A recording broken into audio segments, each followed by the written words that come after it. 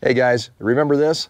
This is our band castrator. We used it a couple weeks ago to, uh, to take care of one small problem for one big bull. And today we're gonna take a look and see how he's doing as we do an update on castrating a 750 pound bull.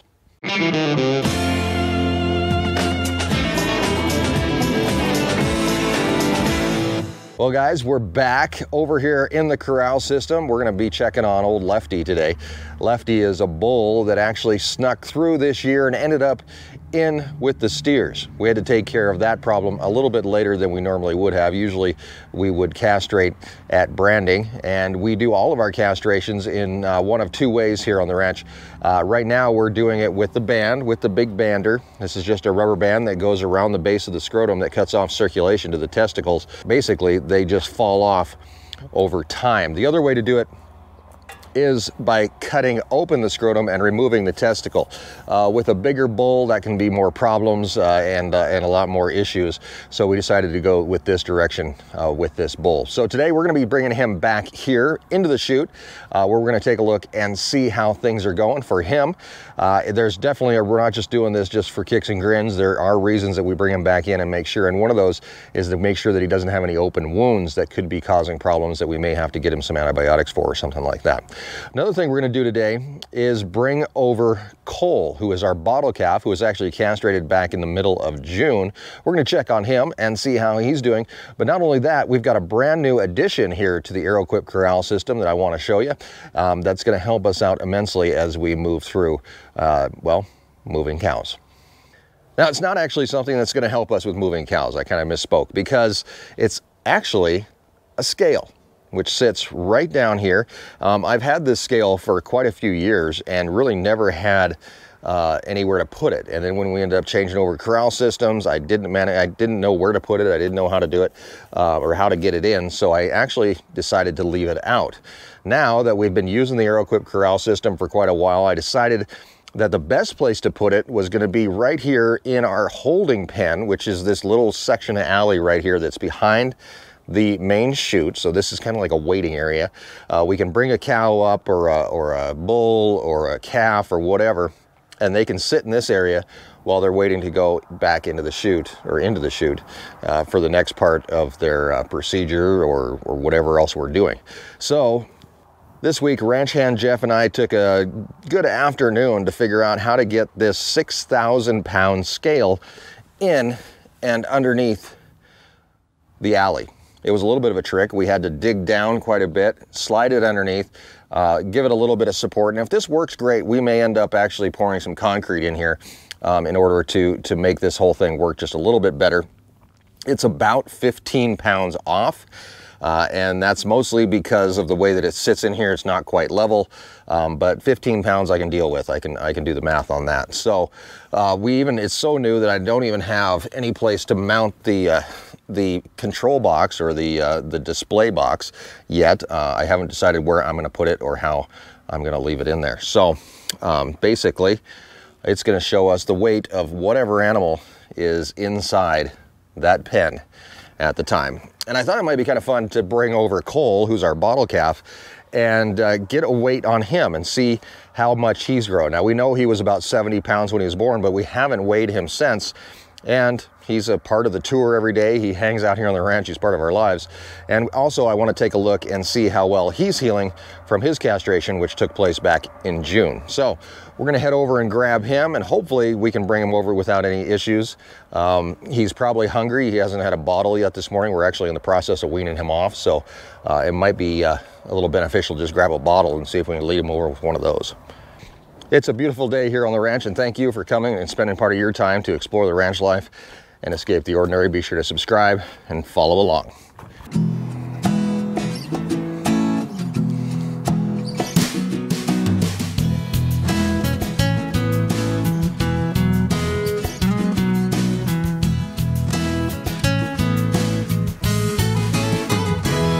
This is my friend Coal. He's about three months old and uh, was castrated back in June, like I said. His mom had mastitis, so she wasn't able to feed him. So it became our job. And of course, he wants this bottle really, really bad, even though there's there's nothing in it. We're gonna trick him a little bit. We're gonna lead him over to the corrals uh, using this bottle.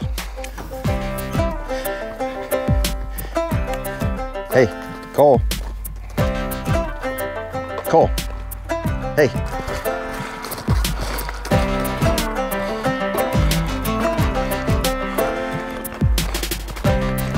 Whoa, hey, be careful. Coal is Coal is a pretty big boy. He can push me around pretty good, so be a little careful as we walk over here. Come on. Don't bump in. Hey, you turd. Bit. Hey.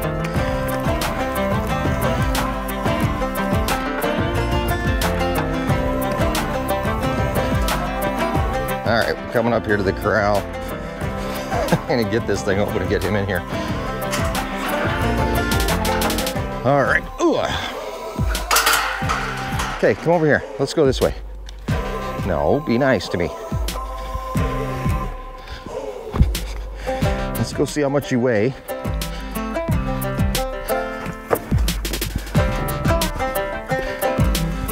Oh my gosh, you're just like a bull in a china shop. But you're not a bull, are you? Come on, kid.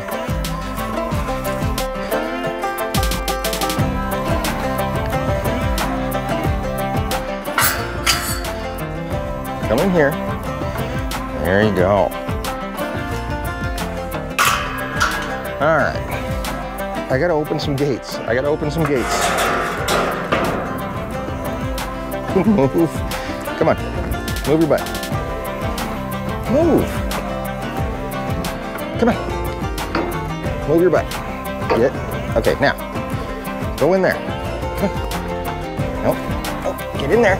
Come on. There we go. Good boy. Yeah. Who's a good boy? Okay, so we got him into the tub, which is where all good things start to happen here. He's gonna go from the tub straight up the alley, which the door is closed up there, so he can't go anywhere right now. So we've got to go set some gates. Obviously, we want to get him in here and get a weight on him. So we're gonna open up that gate.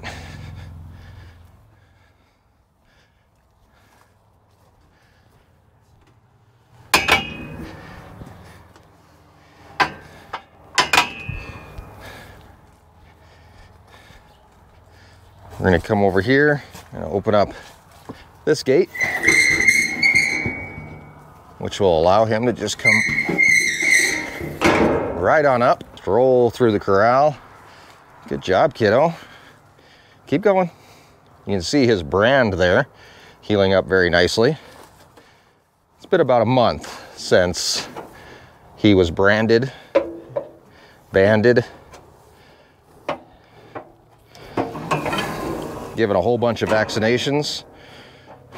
How you doing, kiddo? Good job. Hi, how are you? Hi. All right, so we're looking here at about 180 pounds. I said we were 15 pounds off, so I think we're probably looking closer to that 200 pound mark for him. And of course, it goes all over the place because he's moving around. Come on, take a step forward. We're gonna let him come up.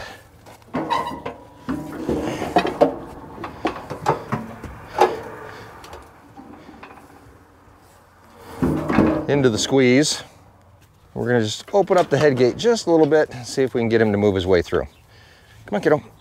And the reason they call it a squeeze is because of this. We can actually make it a little bit smaller to be able to move him up just a little bit, hopefully. Come on, kid. Come on, let's go. Come on. Once we got his head in there, we can just lock him down.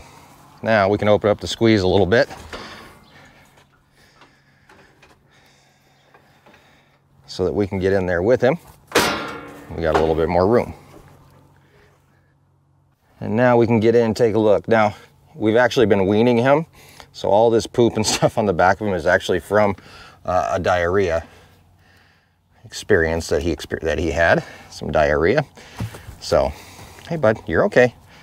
So, like I said, he was banded about a month ago. This is actually right in our way. So we're gonna take our lives in our own hands and move it here.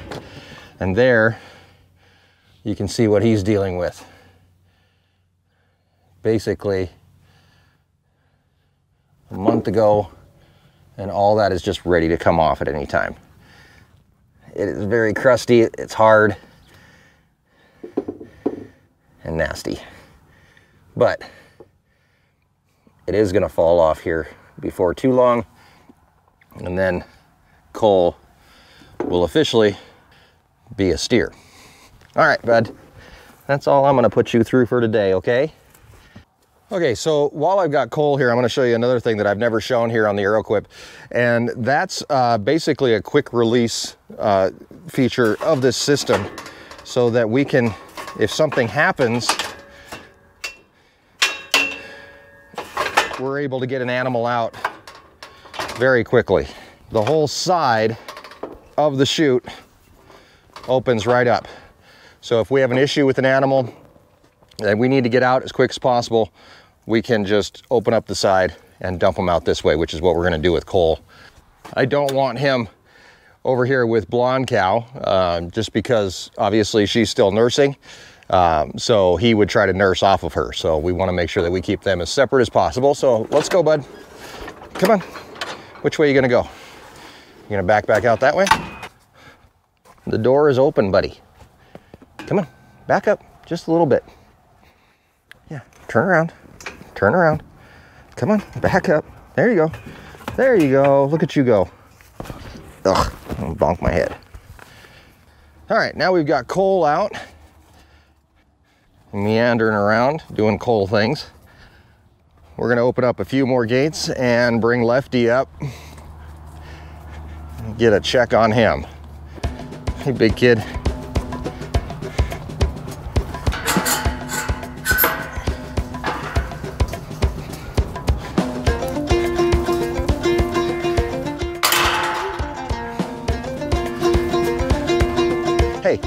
That way.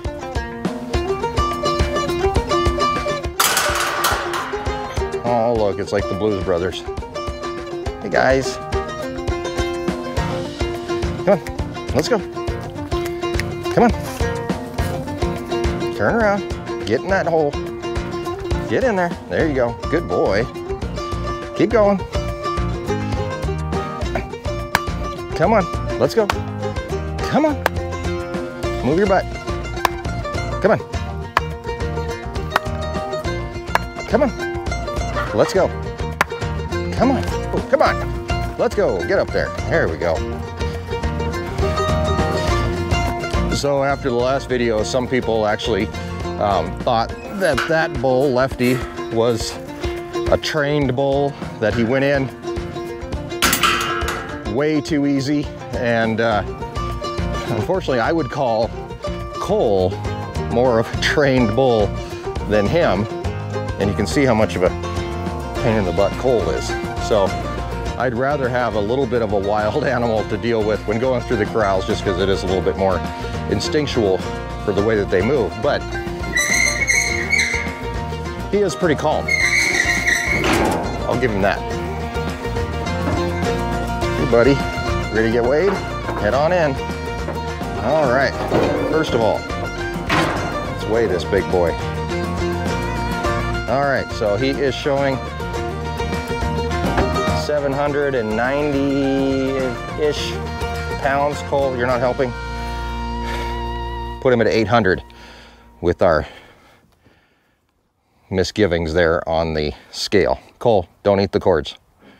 No, don't eat the cords. Again, we open up our gate in between. Allows him to come in. Close it. Now he's in. We open up our head chute just a little bit, let him put his head through, and close it. And that's all there is to it. For him, again, we're gonna use this. This is our head grabber, head holder. Move your head just a little bit my way.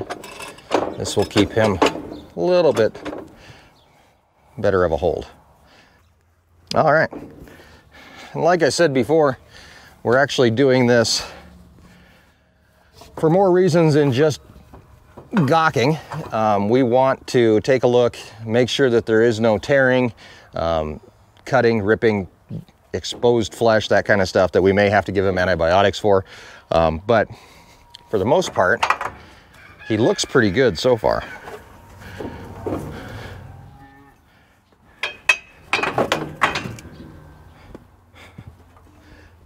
Come in here, take a look. You can see the amount of shriveling that is happening there, but honestly, it looks like the band broke. Um, the band is no longer there.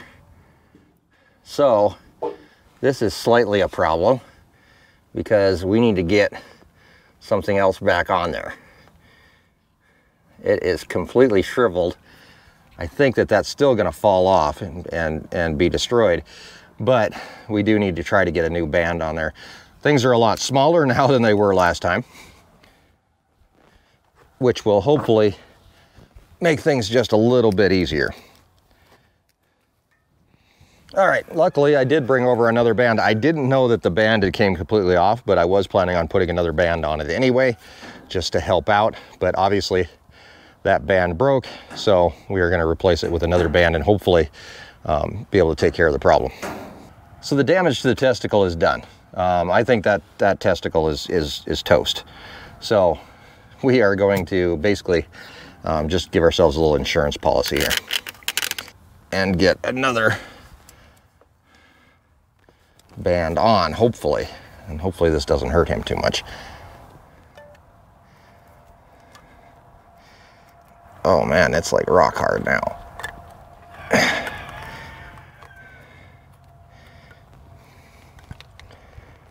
It's so crusty. Oh, and gross. Ick. Oozy.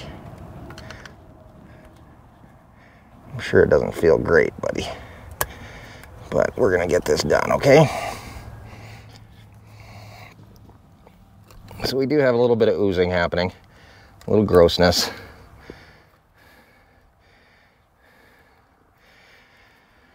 I feel like I'm back to two weeks ago trying to get a band on this stupid thing.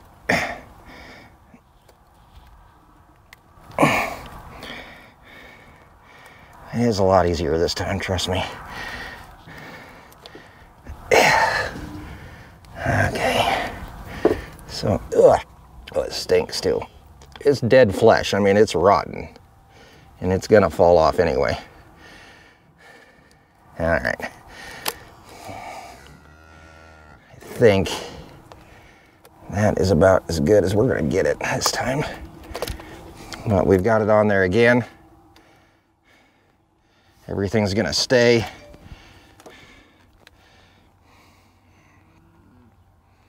And continue the process of coming off. Very gross. Yuck. Yuck, yuck, yuck. Okay. Um, with the way that this is going, I think I am going to give him a quick dose of antibiotics, and uh, and then we'll send him back on his way. All right, so today for antibiotics uh, for him, we're actually going to use LA200, and that's because he's here in captivity where we can um, keep an eye on him here in the corrals. If he was out on pasture, we'd probably end up using Excede, which is a long course antibiotics. This will actually take more doses, um, but it's a little bit cheaper and hopefully will do the trick for him. Um, Excede is a five or seven day uh, course of antibiotics, so you just give him one shot and then you're able to turn him loose. But be sure to talk to your vet before any medical procedure on any livestock. Alrighty, so quick shot for him.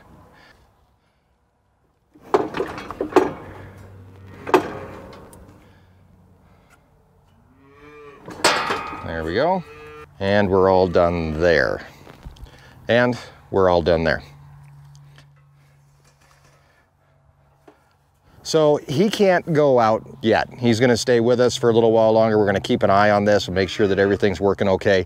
Um, obviously, it's using the band way less intrusive than, than cutting open uh, the scrotum. There's a lot less chance for bleeding. Um, at this point, with his age, I mean, doing a, a, a, castration with a knife would almost be like surgery. There's there's things that need to be cauterized. There's there's arteries. There's all kinds of stuff that could cause all kinds of trouble. So doing it this way, a lot safer, a lot better for him, even though he did snap that band and, and we're gonna end up, you know, that we kind of, we're not starting over because I think a lot of the damage was done over the last two weeks to that testicle.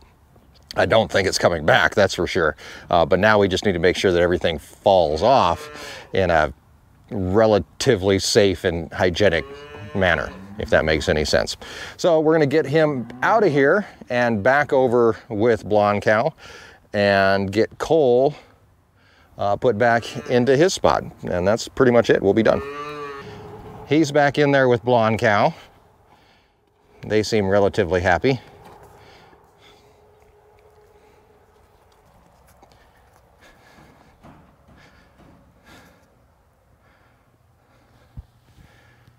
Hi guys. Okay, mm. come on, Coal, let's go.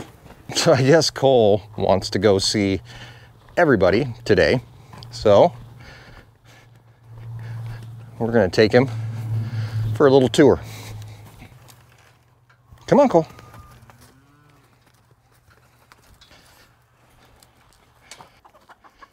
More chickens.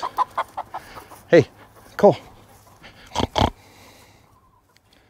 Coal, you want to meet a pig? Coal. Apparently pigs aren't cool enough for him.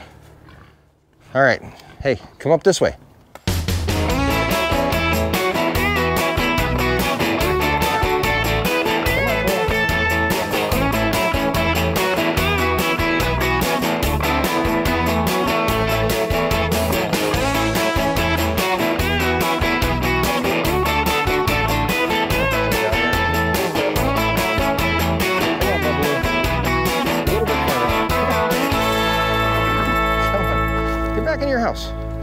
Come on. Get back in your house. There you go. Come on.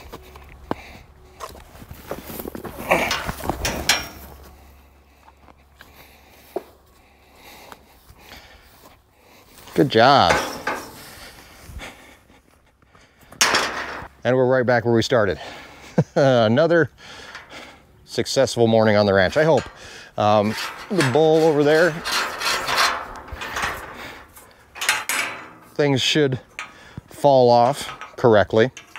As for Coal, he seems to be doing great. And uh, we move on to the very next thing. Be sure to join us on Sunday for our weekly vlog. That'll be coming out on Sunday for you. You get to take a look back at the entire week on the ranch, everything that you might have missed in regular videos. And I hope you enjoyed the update on old Lefty the Bull over there and soon to be Nutless, I guess, will be his new name. Thanks, guys. Be sure to subscribe, follow along as we continue to explore the ranch life and escape the ordinary. And we'll see you on Sunday. Bye, guys.